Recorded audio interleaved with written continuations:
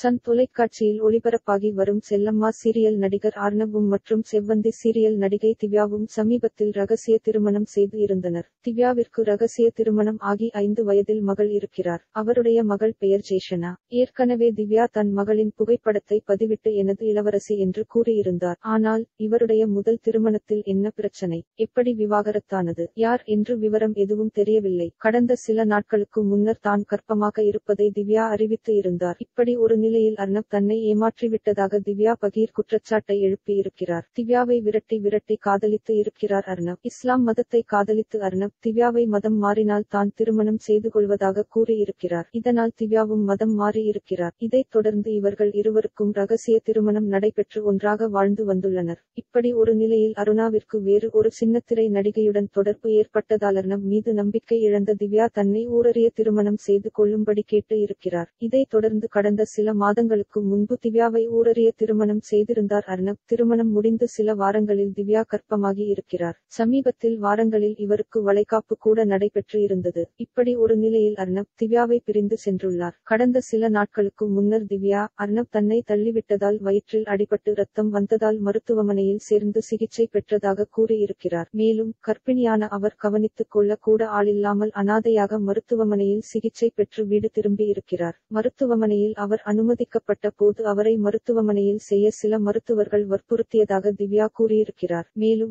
அர்ணவ்விற்கு தான் நிறைய பண உதவி செய்து இருப்பதாகவும் கூறியிருக்கும் திவ்யா செல்லம்மா தொடரில் கமிட் ஆன போது ஆஷிதா என்பவருடன் அவனுக்கு பழக்கம் ஏற்பட்டதாகவும் அந்த பெண்ணுடன் அவன் தொடர்பில் இருக்கிறான். அந்த பெண்ணிற்கும் அவனுக்கு கல்யாணம் ஆனது தெரியும். ஒரு நாள் நான் ஷூட்டிங்கிற்கு போன போது அவன் அசிஸ்டன்ட் எல்லாரும் வெளியே இருந்தாங்க. உள்ள அவங்க எல்லாரும் பெரும் தனியா இருந்தாங்க. அப்போ என் கண் முன்னாடியே அவ என் கணவனை கிஸ் கொடுத்தா. அவன் பெண்ணுடன் பழகுவதை நான் கேட்ட போது அவன் என்னிடம் சண்டையிடான். அதற்கு பயந்து தான் நான் திருமண புகைப்படம் வளைகாப்பு புகைப்படம் எல்லாத்தையும் போட்டேன். அதை நீக்க சொல்லி சண்டையிட்டேன். ஆனால் மற்றவர்களிடம் அது விளம்பர ஷூட்டிங்கின் போது எடுத்து என்று கூறிவிட்டான். மேலும் நான் தமிழ் நாட்டை சேர்ந்தவன் வெளியில் இருந்து வந்துவிட்டு இப்படியெல்லாம் நீ பண்டையா உன்ன என்ன பண்றேன் பாருனு மிரட்டினான். இப்படி ஒரு நிலையில் தான் வீட்டில் இருக்கும் போது என்னை அடித்து காலால் எட்டி உதைத்தான். அப்போது அந்த பொண்ணு கூட போனில் இருந்தது. எனக்கு பொண்ணு வரவே நான் மருத்துவமனையில் சேர்ந்து விட்டேன் என்று கதறி இருக்கிறார் திவ்யா. மேலும் காவல்துறையில் தனக்கு நேர்ந்த கொடுமைகளை கூறி தன் உயிருக்கு ஏதாவது ஆபத்து ஏற்பட்டால் அதற்கு காரணம் அர்ணப் தான் என்றும் கூறி புகார் கொடுத்து இருக்கிறார் திவ்யா.